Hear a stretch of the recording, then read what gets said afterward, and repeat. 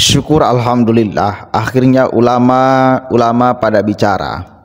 Ini merespons Bahar Smith atas penyerangannya kepada Kang Deddy Mulyadi, atas fitnahnya kepada Kang Deddy Mulyadi. Saya akan putarkan pelan-pelan karena beliau pakai bahasa Sunda. Banyak subscriber saya itu yang selalu ngomong, kalau saya mutarkan ceramah Kang Deddy atau pidato Kang Deddy, Kang diterjemahin dong Oke, saya akan terjemahkan ya. Saya akan putarkan pelan-pelan. Nih Bahar, dengarkan. Nih bukti bahwa provokasi ente itu bahkan mendapatkan tangkisan dan ente ketika mendengar ini nih Har ya. Mudah-mudahan sadar atau kalau masih ente beku punya pikiran dan hati nurani, gila ini sudah benar-benar kosat 10 buhum.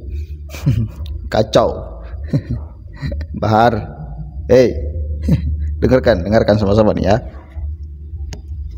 Jujun rela mendampingi Kang Dedi tidak kumaha cek batur ngabuli ka uing. Wah balat Dedi Mulyadi oh jangan Kang Dedi ditude nyenan patung di Purwakarta oh aing pan dibuli teh ajengan milu kamu serikan oh udah rupa-rupa ka aing aing saya dampingi Kang Dedi Mulyadi saya tidak apa dituduh-tuduh Wah, ini kiai yang membela kemusyrikan dan lain sebagainya. Saya akan terus dampingi Kang Deddy Mulyadi itu. Lanjut. Teu bergeming paduli teuing dan nyaho Deddy Mulyadi sapopoe uing. Saya tidak jadi masalah. Saya tidak akan goyang dalam membela Kang Deddy Mulyadi.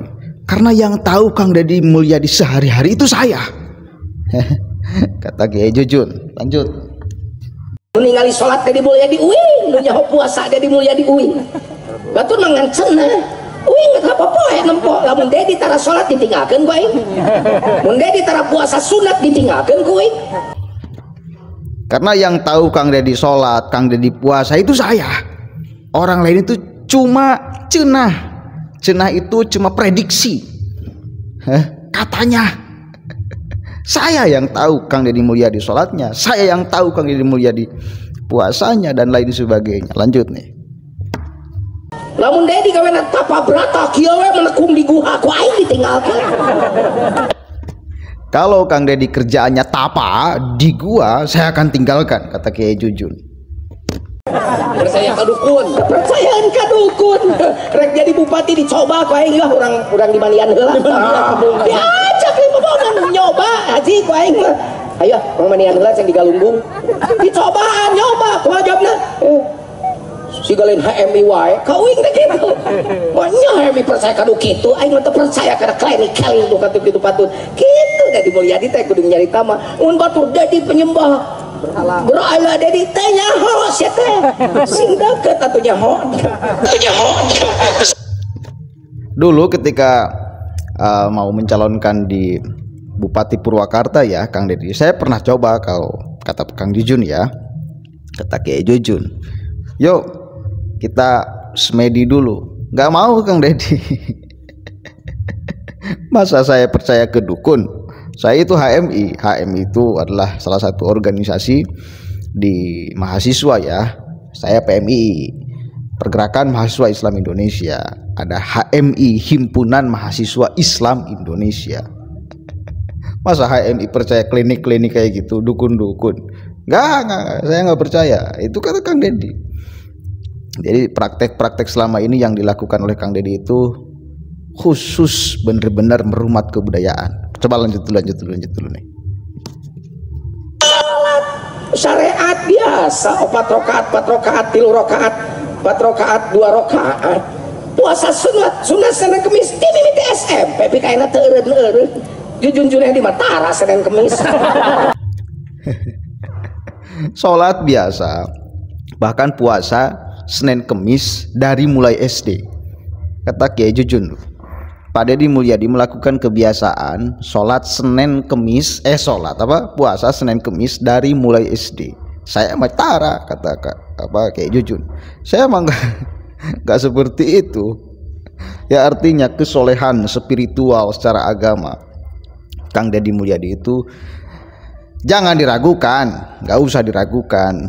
Justru kesolehan agama Bahar itu yang mesti diragukan. Kesolehan spiritual Bahar Smith itu yang mesti diragukan. yang punya bacot yang tidak bisa dijaga kelakuan yang tidak bisa dijaga nggak tahu dia puasa Senin Kamis atau tidak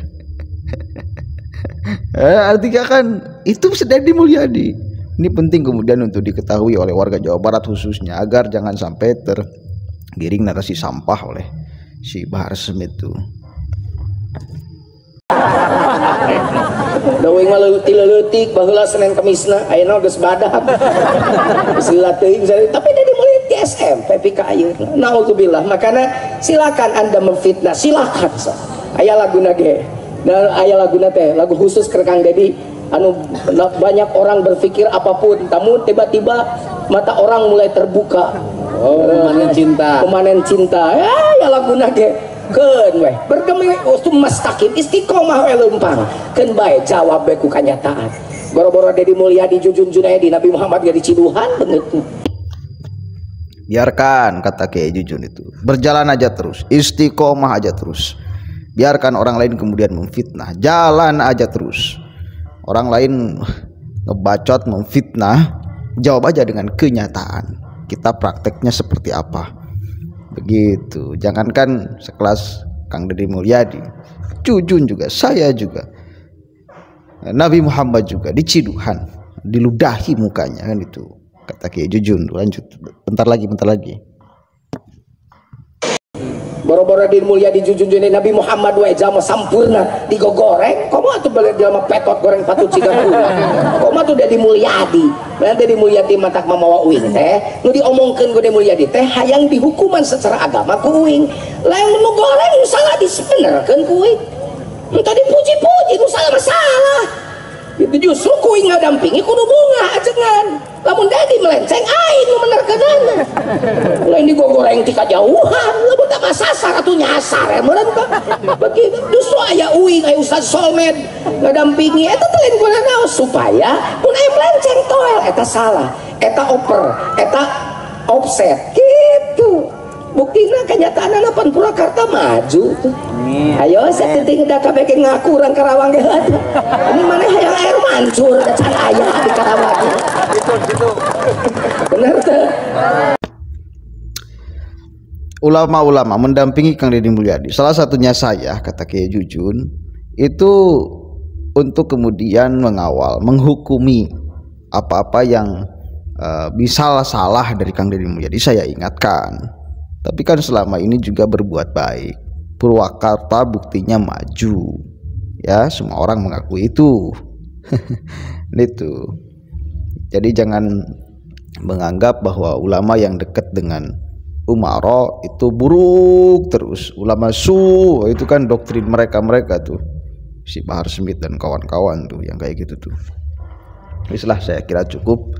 Ya intinya ini kesaksian dari Kiai Haji Jujun Junaidi kepada Kang Deddy Mulyadi untuk membantah fitnah dari Bahar Smith.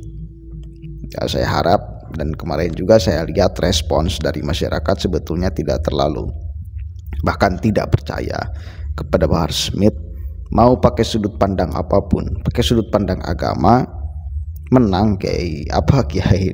Kang Deddy Mulyadi. Lawan Bahar Smith.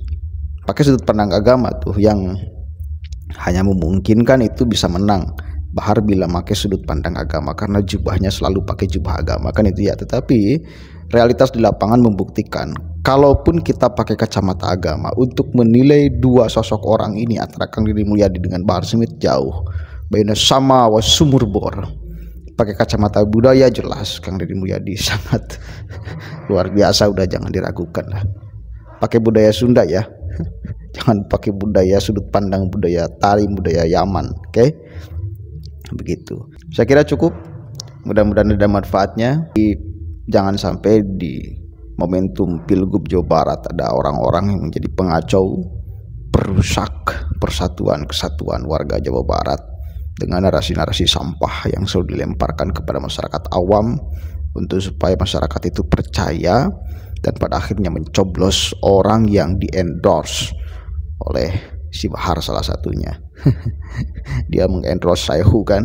Wes lah aku aja dan saya kemarin katakan orang-orang seperti Pak Arsemit Alfian Tanjung yang mengeluarkan narasi sampah untuk membelah masyarakat Jawa Barat mereka-mereka harus dijadikan musuh bersama musuh bersama orang Jawa Barat. Nggak bisa lah. Nggak bisa kita biarkan harus kita lawan sama-sama. Ya. Assalamualaikum warahmatullahi wabarakatuh